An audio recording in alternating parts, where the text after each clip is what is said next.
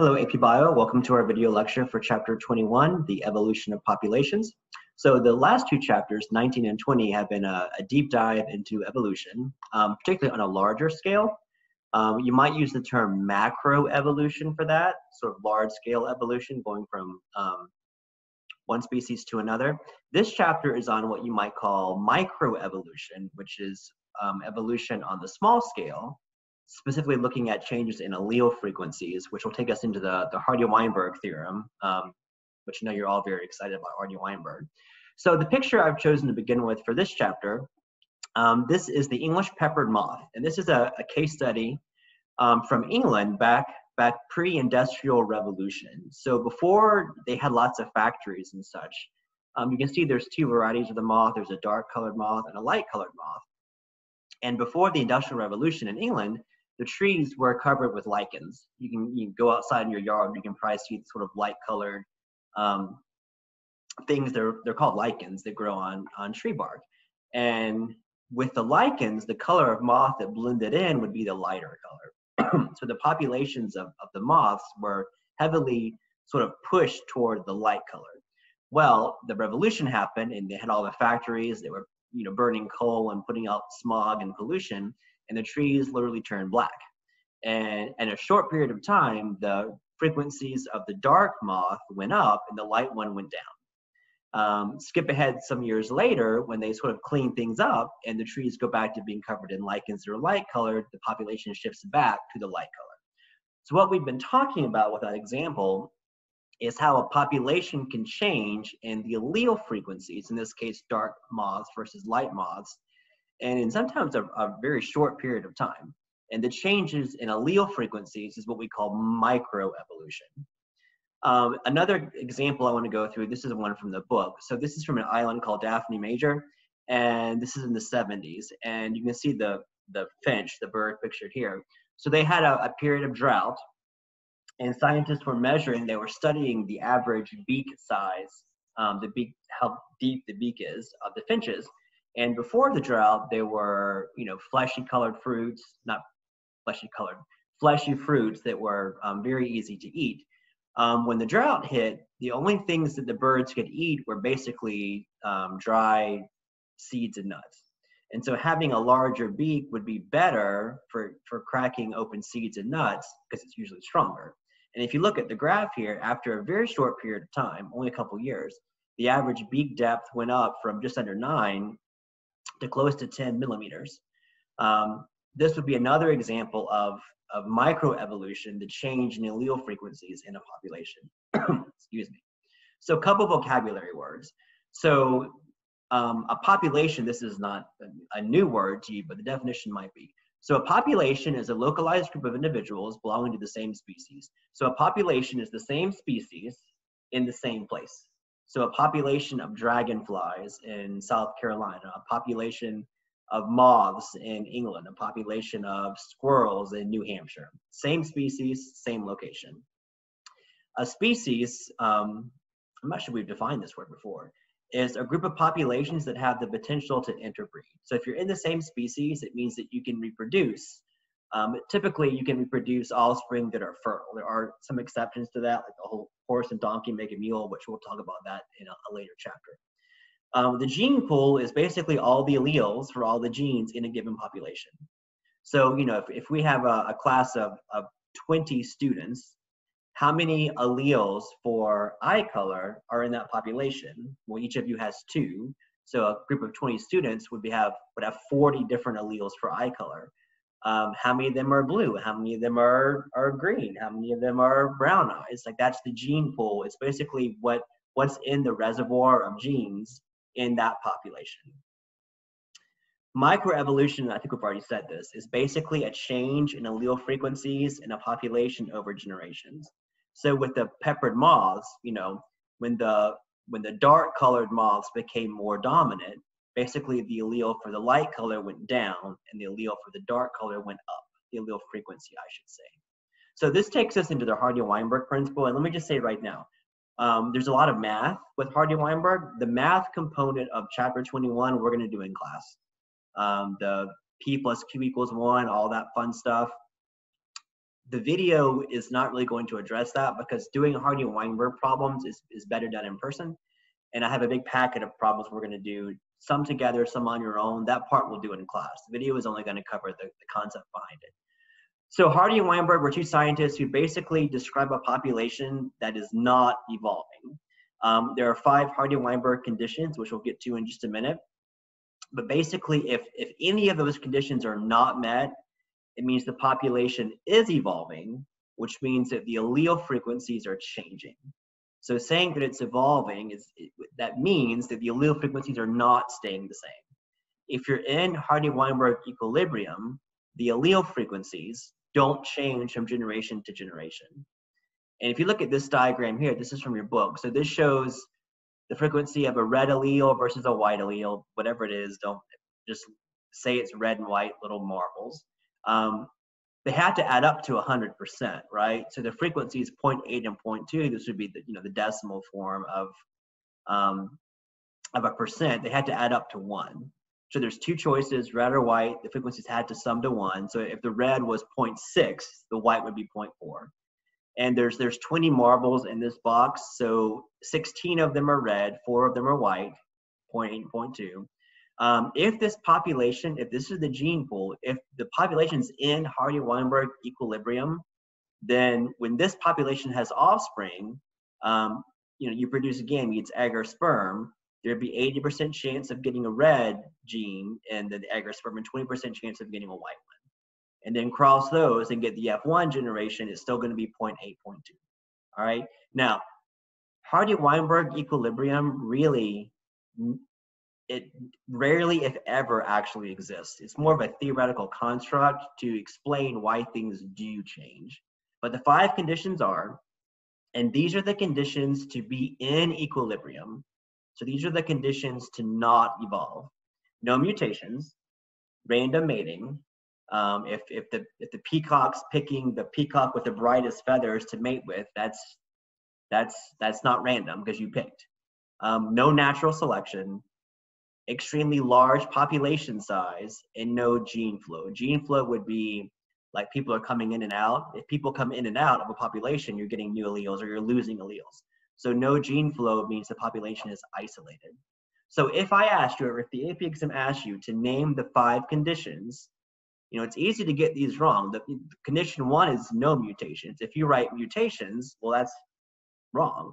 So the five conditions to be in, in, in equilibrium, no mutations, random mating, no natural selection, large population size, isolated, okay? The five things that cause evolution, mutations, non-random mating, natural selection, small population size, and not isolated, or you could say uh, migration. Okay, uh, make sure you have that right in your head, like what does cause and what doesn't cause evolution. So at this point, we're, we're basically going to go through, and again, I've said it again, me just say it again. If you violate any of these, you're not in equilibrium. Like you don't have to meet all of them. Um, I'm sorry, you do have to meet all of them if, if you break one of them, you're not in, in equilibrium. Okay. Um, one year I had a kid who thought you had to break all of them to be evolving, and no, you only had to break one of them. So now we're going to go through the things that cause microevolution. Basically, it's the things that break those five things. It's the opposite. So genetic drift. So let me ask you a question. So if you tossed a coin 10 times, all right, what are the chances that you would get um, seven heads and three tails? Now you should get five and five, right? But getting seven heads and three tails, that's that's possible. Like you could randomly get seven and three. If you tossed a thousand coins and you got 700 heads and only 300 tails, that's the same percentage, right? But tossing that many coins, if it comes out 700, 300, your coin is weighted, right? There's something going on. So genetic drift is the idea that small populations, random chance affects small populations more than large populations, right? That's why you do experiments more than one time because doing an experiment once, you might randomly get some weird result. Doing it a hundred times, like compensates for just random chance. Okay, so this would be changes in allele frequency because the population is small. Let me ask it a different way if if 10% of a population are redheads, what are what's the likelihood that they all die? So 10% of redheads, they're all going to die. If my population's 10 people, that means there's one redhead. The chance of that one redhead dying, possible.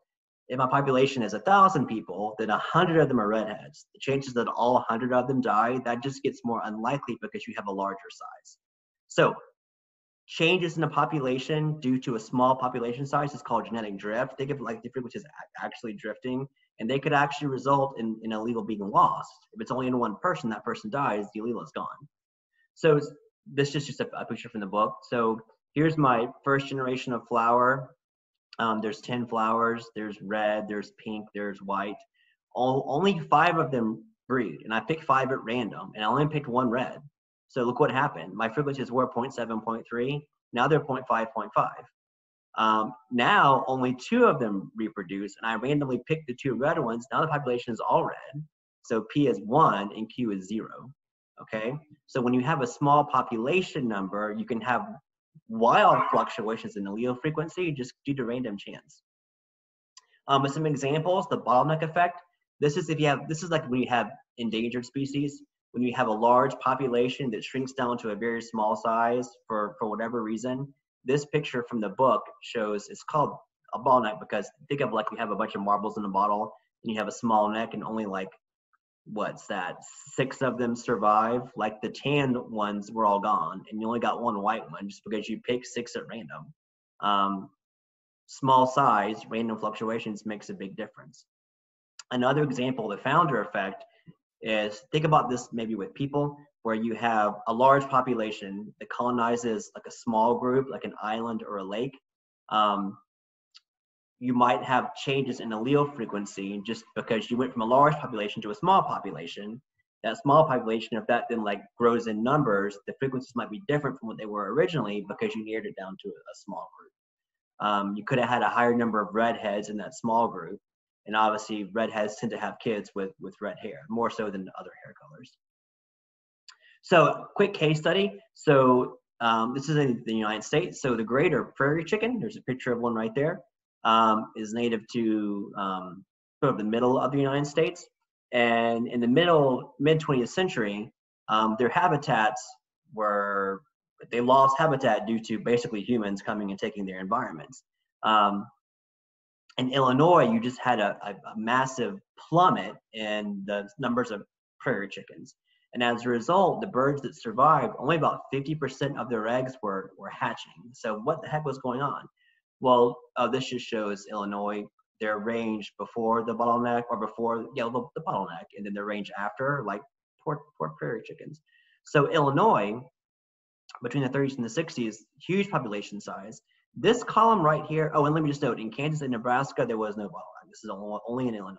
So this column here, number of alleles per locus, this is basically like, like take the gene for eye color. What are the possible alleles for eye color? Blue, green, hazel, brown, black. It's just the number of choices for a given gene. This metric is a way of measuring the amount of genetic diversity. And species are better, they're more robust when you have more genetic diversity. So before the bottleneck, um, when you had lots of people, lots of chickens, 5.2, 93% of their eggs hatched. After the bottleneck, this should be a, I think that's a less than sign that didn't convert right we only had 50, the, the genetic diversity, the number of alleles per locus goes down to 3.7, and only about 50% or less of the eggs are hatching. So the, the result of having less diversity means fewer of the eggs hatch. Look at Kansas and Nebraska that didn't have a, a bottleneck, and you can see the, the alleles per locus didn't change and most of their eggs hatch. Now, before I flip the slide, what's a way that you could fix this? Um, one year I asked this question and a student said, well, you could take the chickens and, and mutate their genomes to get more variety. And I'm like, yeah, that, that, that'll do it. Or you could just bring in more chickens. Take some of the chickens from Kansas or Nebraska and put them in a cage and take them to Illinois and release them. And that's basically what they did. Um, they, they took prairie chickens from other populations and just introduced them. And the rate of egg hatching went back up to to 90%. Um, yeah, okay, cool. So this slide just shows a summary. So genetic drift is, is effective in small populations. It's due to random chance. You can lose variation. If an allele becomes fixed, that means everyone has it. And if it's a bad allele and everyone has it, that's that's not good, right? Okay, so uh, the next cause of microevolution is called gene flow. Gene flow is just migration. That's when people enter a population or people leave a population, and you either you gain new alleles or you you lose alleles. This one's pretty pretty self-explanatory. Um, remember one of the, the conditions for Hardy-Weinberg equilibrium was no gene flow. So having gene flow or migration causes microevolution. Um, some examples. So um, things like mosquitoes. So West Nile virus is a virus that, uh, that mosquitoes carry. Um, usually, back in the day, we would use DDT, which is a chemical you would spray that kills mosquitoes, and DDT would help slow down the spread of West Nile virus or malaria or other other pathogens that were carried by mosquitoes. Well, mosquitoes can be resistant to those. This is kind of the same example as the antibiotic resistance that we did in chapter 19, I believe. So, you know, there could be a mosquito that's resistant to DDT. It's one mosquito in a billion.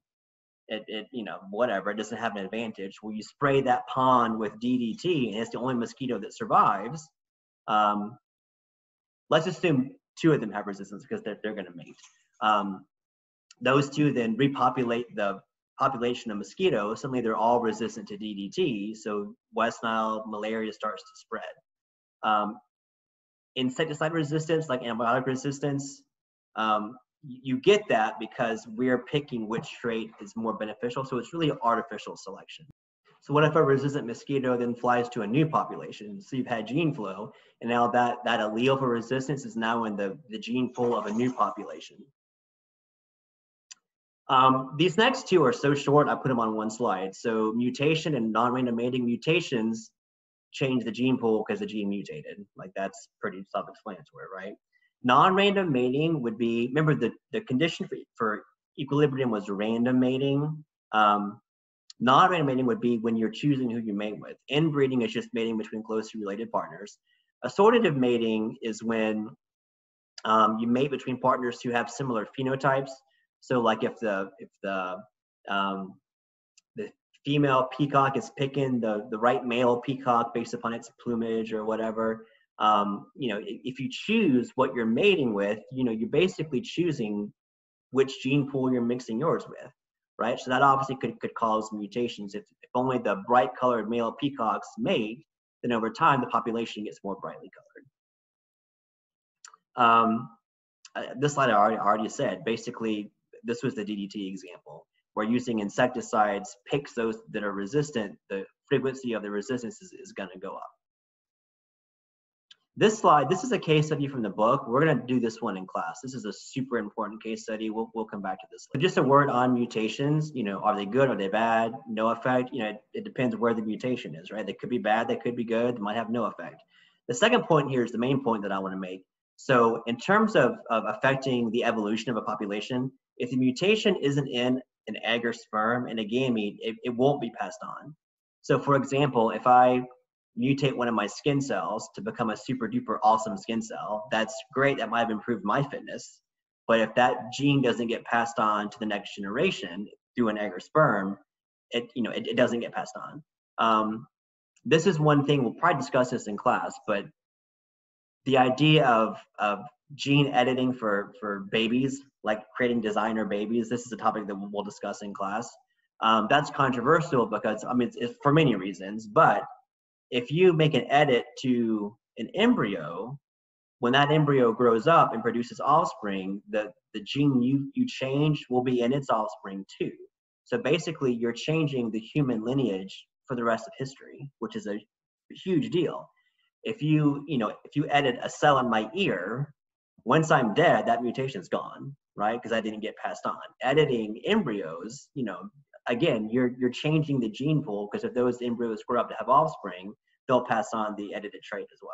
We'll discuss that idea more in class. Then. Um, mutation rates. This is interesting. So bacteria mutate slower than eukaryotic cells do. Um, and if you think about it, there's really two things that, that affect evolution in this case. It's how fast does DNA mutate and how quick are, are the generation times. Bacteria divide so rapidly, you know, in, in an hour or two, you can have, you know, one bacteria can be a bunch of bacteria. Humans, it takes, I mean, minimum, what, 15 years or so to get a, a new generation. Um, things that have longer generation times generally have faster mutation rates to sort of compensate for that. Things that have faster generation times usually have lower mutation rates because they, you know, you're going from more offspring quicker. Um, and just just to review uh, other sources of variation besides mutation, this is from like chapter the chapter of, on meiosis. Um, crossing over, independent assortment, random fertilization, these don't create new genes, but they create new combinations of genes. These these big three, you should have these big three memorized. Crossing over, and independent assortment, and random fertilization um, also shuffle genes to give you genetic variation. Diploidy, so you know, bacteria aren't diploid. They only have one. They only have one chromosome. So diploidy is an advantage because one, you have twice as many genes, right? Because you have two copies of each. Um, so you can have recessive alleles that are that are hidden. Um, heterozygotes, you know, in a minute we're going to go through the example for malaria, but because you can hide alleles, totally ever losing an allele, even if it's a really bad allele, in the heterozygous condition, you can have bad alleles, but they're hidden. So it's very, very hard to lose an allele in things that are diploid because you can hide it. And you know, e even bad alleles, we'll go through an example here in a minute, there might be situations where they might be good. So keeping the variation is, is a good idea. The example that, that I want to go through is the, the concept is called heterozygote advantage. So balancing selection is just the, the trend, the phenomenon in nature where we want to keep both P and Q. Like we don't want P or Q to go to one. We want we want them to stay both in the gene pool. Um, they deal with sickle cell anemia and, and malaria. So if there's a condition where being the heterozygote, being big B little b is actually the best thing to be, that would help preserve both both alleles, right? So the deal with sickle cell. So sickle cell is, is a recessive trait. We've discussed this many times. It's it's you know you don't want to have sickle cell anemia. If you are heterozygous, so if you're if you're homozygous recessive, you have sickle cell. If you're homozygous dominant, you don't have sickle cell. You're you know, you're fine. If you're heterozygous, you don't have sickle cell, but half of your red blood cells are the wrong shape, but you're you're okay. You don't have the disease, but you're also resistant to malaria. So the pathogen that causes malaria, Plasmodium uh, falciparum, I guess is how you pronounce that. Um, it's a parasitic unicellular eukaryote. It's it's a it's a pathogen that carries malaria um, through uh, getting bitten by a mosquito. Mosquitoes carry the pathogen from person to person.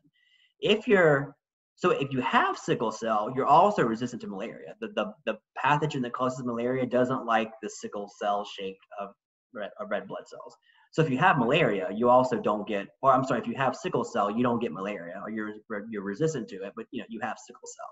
If you're heterozygous, you don't have sickle cell, but you're also resistant to malaria, which is like the best of both worlds.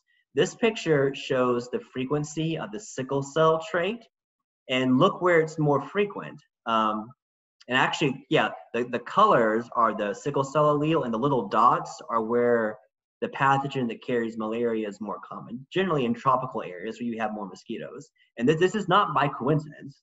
Like it's it's nature has made it this way because having the sickle cell trait in the heterozygous form makes you resistant to malaria. So where do you find that allele? Where you have more malaria. You don't have lots of sickle cell trait in Norway because there's no mosquitoes there, or the, or the mosquitoes that carry malaria definitely are not in Norway because it's too cold, right? So this is a case where the environment the temperature, the mosquitoes, has helped shape the allele frequency, in this case of sickle cell. Frequency dependent selection, this is a, a cool example. So these two, this fish, the P. microlepis, these are sort of like scavenger fish. Um, and they feed off the leftovers of this fish that they follow, and they're left mouthed or they're right mouthed. Um, and if you look at the graph, the graph is showing the frequency of left mouth individuals. So if there's 10 left-mouthed fish and you're the 11th left-mouthed fish, you're probably going to be left out, right? um, no pun intended. If there's 10 left-mouthed fish and you're the first right-mouthed fish, again, you're the only person on that side. It's you're you're by yourself at the buffet. You're doing great. So look what the frequency does. When the left mouth individuals here, it's about 0.6. That that's getting too many. The frequency goes down. If it gets down to a point where there's very few left mouth fish, then being a left mouth fish becomes advantageous. And the green dots, I guess, are showing the frequency of the of the right mouth fish. This is in your book. So depending upon what the population is, left or right, dictates what's most fit.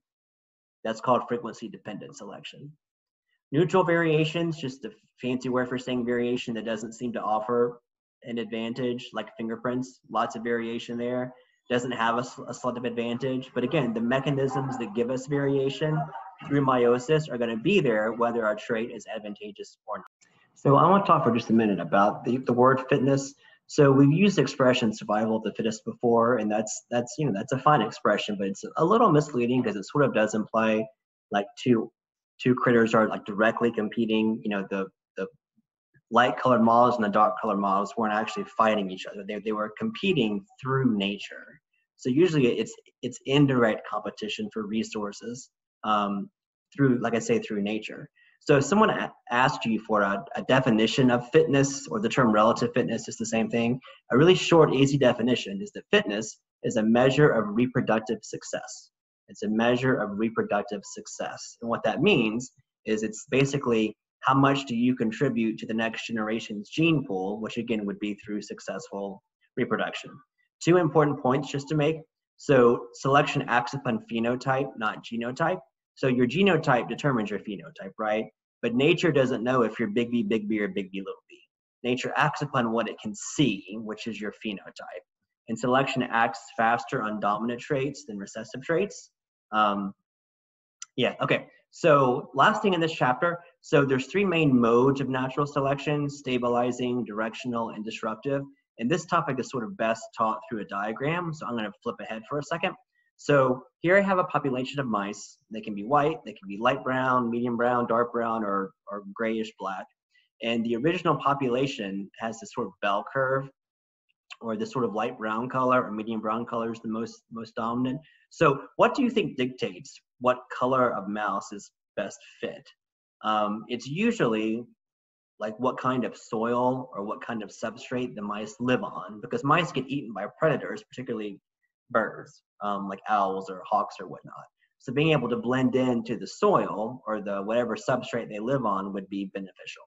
So directional selection would be look at the dash line. If if the allele frequencies are moving toward a darker color or a lighter color, if you pick a direction and go that way, that's called directional selection. So say this population of mice lives upon very dark volcanic soil. This kind of mouse will be more fit. This kind of mouse is going to be eaten really, really quickly because it's going to stand out. That's directional. Disruptive is when you you don't want the intermediate, you want either type. So say that the mice, um, the the substrate's multicolored. There's either say you had recent volcanic eruptions, you either have areas that are dark where you had lava that hardened, um, or you have areas that are very very light colored sand. So being a light color would be okay. Being a dark color would be okay. Of course, you need to be on the right substrate to blend in, but being the, the medium color is, is bad. That's called disruptive. Stabilizing would be only the intermediate is good. The, the extremes are not good. So say the mice live on um, medium colored sand in the desert and that's it. If you're black, that, that stands out. If you're white, that stands out. So you wanna, you wanna stabilize what, what's in the middle. Um, a common AP question would be to give you one of these and ask you like, why, why is it going that way? And basically you just discuss what color the ground is. So sexual selection would be natural selection in terms of mating success. So the idea the the brighter peacock gets the gets the female peacock. Sexual dimorphism is just when you have marked differences between the sexes. Um, this picture kind of shows that. This is the male, brightly colored, lots of plumage. This is the female. Females are usually, in terms of birds, kind of drab in color, if they're the ones sitting on a nest, you don't want to stand out because a predator will get you. Whereas the male is usually brighter colored, this is sexual dimorphism, to, to attract the female. So here we have the male doing whatever little display he wants to do. This is the female looking back. I'm not sure she's convinced or not. Her expression looks like I, I don't I don't think she's buying it. Um, but that's sexual dimorphism. So last slide, just, to wrap up, just some some reviews and some important points. Evolution. The goal of evolution is not perfection. The goal of evolution is to take what genes are already there and to pick which ones are, are best, which ones, actually not even best, which ones are better than other ones, to create the set of genes that makes the organism best suited for its environment. Nature doesn't strive for perfection, it strives for better than what you might um, have now or what came before you. Um, evolution is by natural selection involves both chance and sorting. Genetic variations arise by chance. There's definitely an element of here of just random chance. And what, what selection does is it sorts the alleles as to what's best fit for the environment. And the idea of, of adaptive evolution, this is just the idea that you want to increase the alleles that improve fitness, that improve reprodu reproductive success. And we just say this isn't on the slide, but last point, remember evolution doesn't happen on, on individuals. Individuals don't evolve. The mouse can't change its own color. The unit of evolution is the population a population can change in terms of allele frequencies. Um, common, common AP question. The minimum amount of time, this is important, the minimum time that you need to see evolution, like what, what is it? Well, it's not a time as in a like two minutes, it's a time as in you need at least two generations. One generation isn't good enough. You need at least two generations to be able to measure and observe evolution. Okay, that's enough for one chapter. We'll wrap it up there. See you guys next time.